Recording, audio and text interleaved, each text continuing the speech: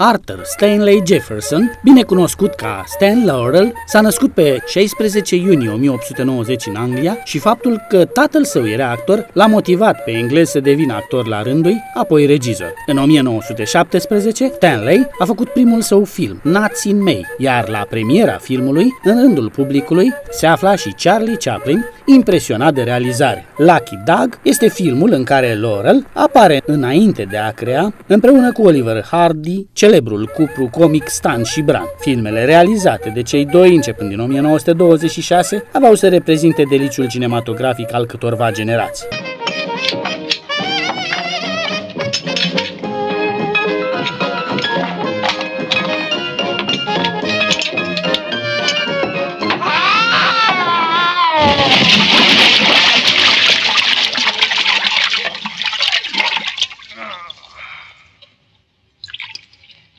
Parteneriatul creat între cei doi actori reprezintă unul dintre cele mai longevive din toate timpurile, iar comicul lor unul foarte greu de egalat.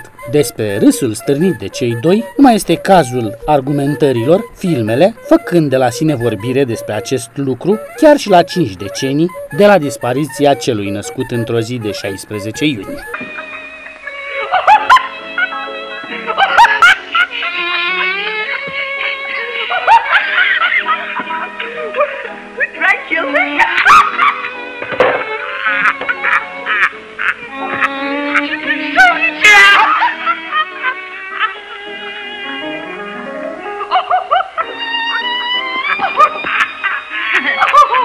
Wasn't liquor. That was cold tea.